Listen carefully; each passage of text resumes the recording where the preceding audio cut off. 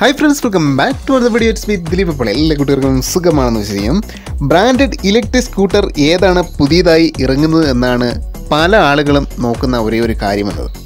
കാരണം പല ചൈനീസ് കമ്പനികളും എടുത്ത് പണി കിട്ടിയിരിക്കുന്ന കുറേയധികം ആളുകളുണ്ട്. അവരെല്ലാം ആഗ്രഹിക്കുന്നത് ഏതെങ്കിലുമൊക്കെ പ്രമുഖ ബ്രാൻഡുകൾ ഇ വികൾ ഇറങ്ങിയിരുന്നെങ്കിൽ എന്നാണ്. നമുക്കറിയാം ഹോണ്ടയുടെ രണ്ട് ഇലക്ട്രിക് സ്കൂട്ടറുകൾ ലോഞ്ചിങ്ങുമായി ബന്ധപ്പെട്ട news company പുറത്തുവിട്ടിട്ടുണ്ടായിരുന്നു. Honda E M one E Honda Activa electric എന്നീ ഇലക്ട്രിക് സ്കൂട്ടറുകളായിരുന്നു അവയൊക്കെ ആദ്യമായി ഹോണ്ടയുടെ തന്നെ ലൈസൻസ് ആവശ്യമില്ലാത്ത രണ്ട് ഇലക്ട്രിക് സ്കൂട്ടറുകൾ ഇറങ്ങാൻ പോവുകയാണ് ഇനി. ഡാക്സ് ഇ സൂമർ ഇ എന്നിങ്ങനെയുള്ള രണ്ട് ഇലക്ട്രിക് സ്കൂട്ടറുകളാണ് അവ. തീരെ ഒതുങ്ങിയ സൈസിൽ അമിതമായ ഭാരമോ ഒന്നുമില്ലാത്ത രണ്ട് ഇലക്ട്രിക് സ്കൂട്ടറുകളാണ് ഈ ഒരു സ്കൂട്ടറുകൾ എന്ന് പറയുന്നത്. ഇതിന്റെ ഒരു മോട്ടോർ പവർ വരുന്നത് ഇരുന്നൂറ്റി അമ്പത് വാട്ട്സ് ആണ്.